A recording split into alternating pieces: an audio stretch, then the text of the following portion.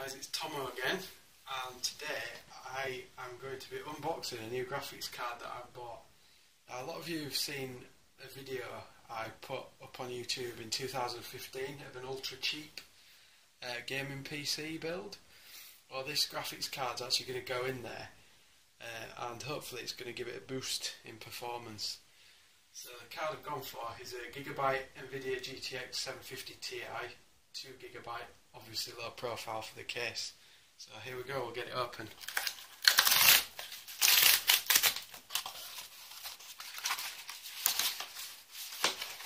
Wow, how exciting. Okay, so this is the card. Oh, it's the overclock version as well. Fantastic. So, whip open the box. We'll have a look, see what we get inside. Well, first things first, we obviously get the card. So I'll just open it up.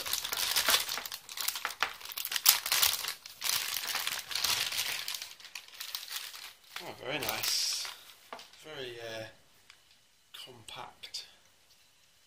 Oh, they've even put plastic over the, uh, the parts. Very handy and probably very wasteful. Okay, so what have we got on the back there? We've got two HDMI, one display port, and one DVI connection. Now, at the moment, that's not going to fit in my case because this is far too tall. So we'll see what else we've got in the box.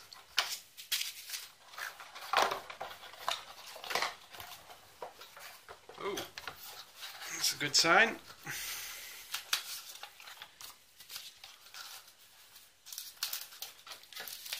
Just move the box.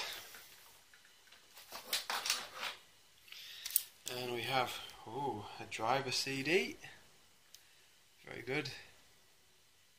And Gigabyte Overclock Guru, GeForce Experience, Google Utilities, DirectX 9, and user manual.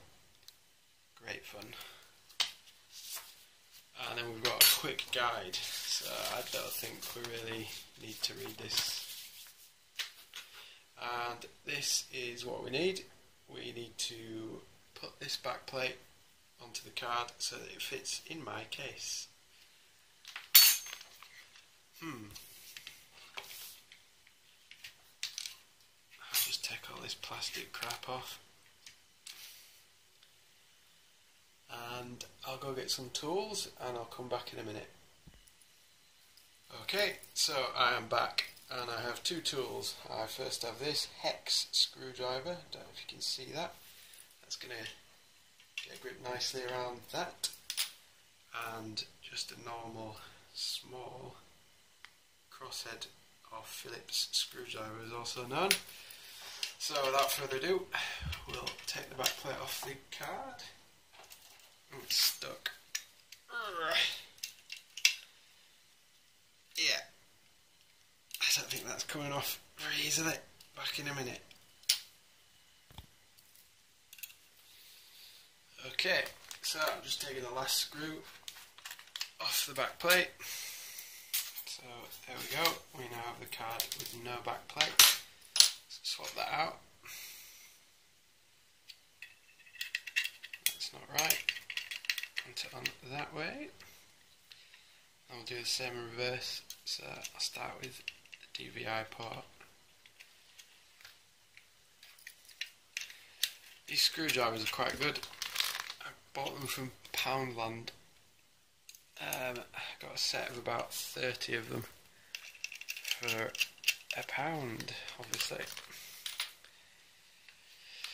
So, two screws that go to the HDMI just above the HDMI ports are slightly bigger. Just don't get them wrong if you do this.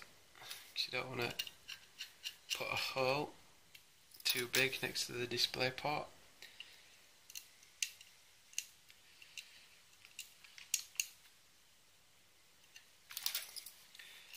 There we go. And the last screw nearly that.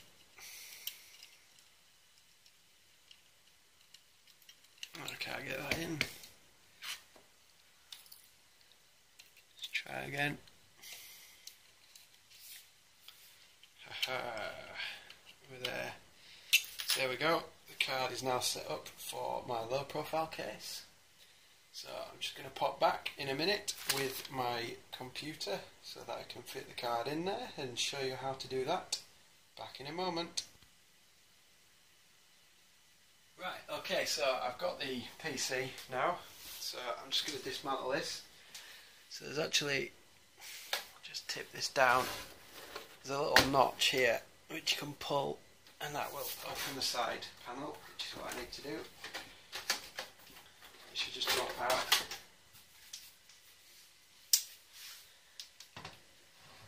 So down here we've got my R7 240. So pretty straightforward. I'm just to press the notch behind it that's keeping it in eventually. Um, and, no, that's not happening. Oh, what a mess. There we go. Out with the old, in with the new, much more powerful card. So, we've even got a protector on the edge of the circuit board. So this simply, oh dear, it doesn't fit. Right guys, this is not quite as straightforward an upgrade as I initially thought, uh, simply because, let's see what happens when we try and put it in the PC. So if I line the slot up, you will see, I just have to bring it around the back. Oh dear. There's, hmm, not good. So the DVI protrudes into the side of the case, but if you look, the rest of it is actually flat. So what I'm going to do, well you'll already see I've taken out one of the screws from the DVI slot. So what I'm going to do, I'm actually going to modify the case. So I'm going to take out a small portion of it so that the DVI slot can stick out. So I'll just go back to my toolbox, just be back in a moment. Okay, so as I say, gentlemen, choose your weapons. This is what I'm going to be using. Just have to bear with me with the crude light in here. I have literally just put the uh, flash on permanently on my camera. So I'll just get it lined up so I can see where I need to cut. Okay, so it just fits almost perfectly in that first section of the grid, to call it, so I can actually take this out. At least I think I can. Yeah. So I'll just move that along a little bit. And we're literally going to just get it into shot. Oh, not enough space. Literally cut through here. Come on. Don't let me down. Ah, it's let me down. No, it hasn't. It's worked. And same again. Next notch along. And again. That's three lovely little sections we've cut out there and then we need to go across the other way. So along the top. And along the bottom.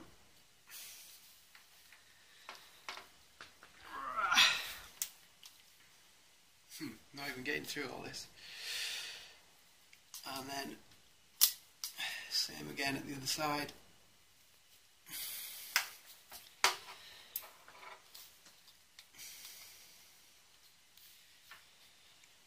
number two. And of course, the last one, number three. Okay, that should push out, but no, it doesn't. Gonna have to work on these edge bits a little bit more. There, that one went. And final one. There we go. Lovely. Almost looks deliberate. Should probably sand these down because they're quite sharp, but nah, be alright. No one's going to stick the fingers in there. Okay, so pull the PC back round.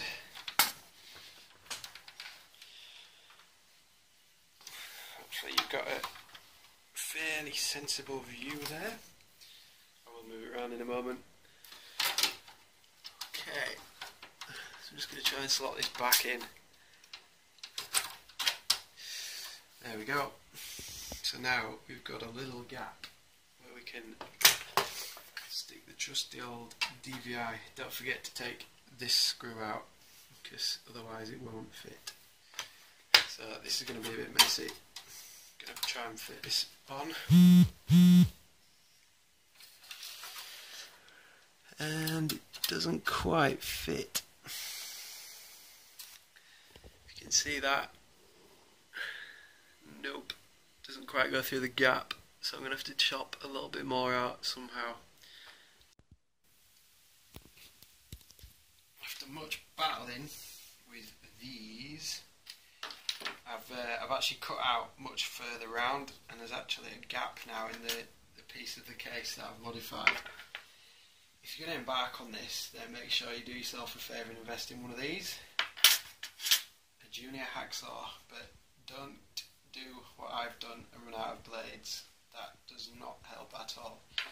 So yep, I literally plugged away at that for about 25 minutes with these. Not good. Anyway, we're going to try and fit the card back in the case again, so back in a sec.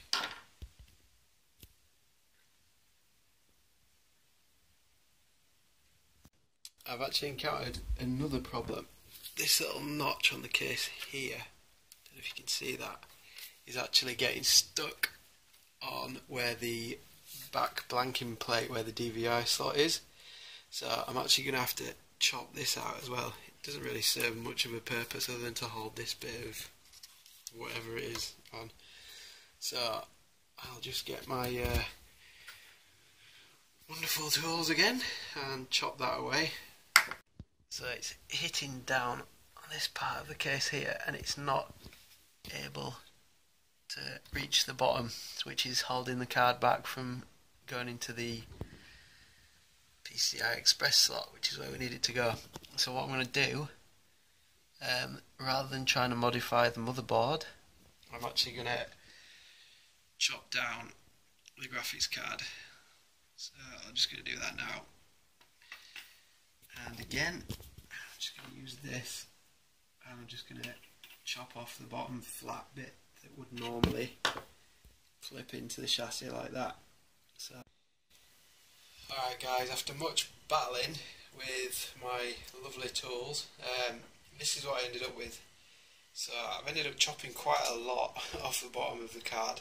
You'll also notice as well I've actually secured the DVI port um, to the back plate with some screws uh, simply to give the card a bit more stability as it was wobbling about a little bit because it was only held on the um, these three screws here.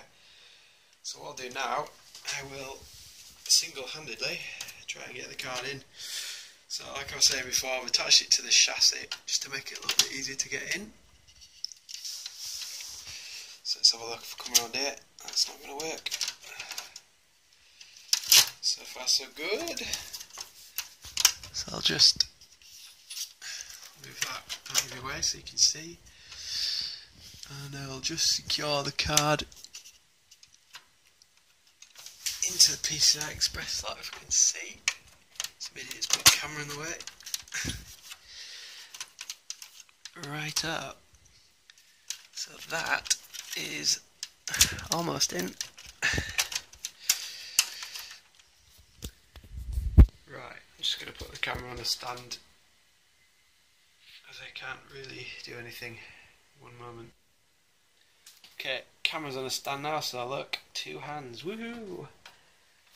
Right, so I'll just push the graphics card into the PCI Express slot, and was that a magic click I heard?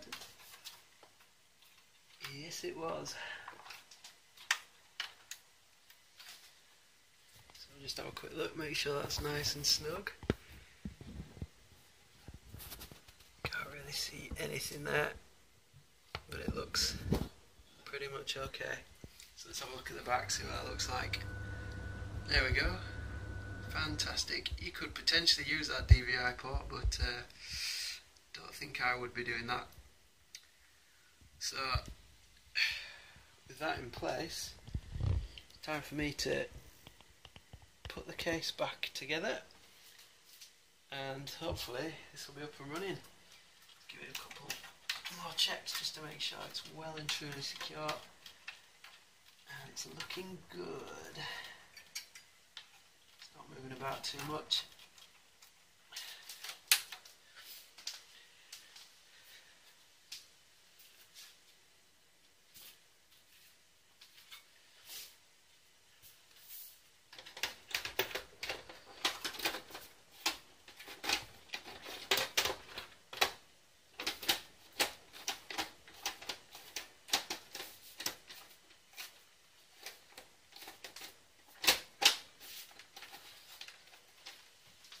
And there we have it.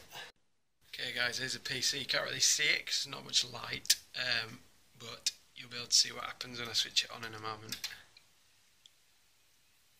Okay, so no error messages, and woohoo, we've booted to BIOS.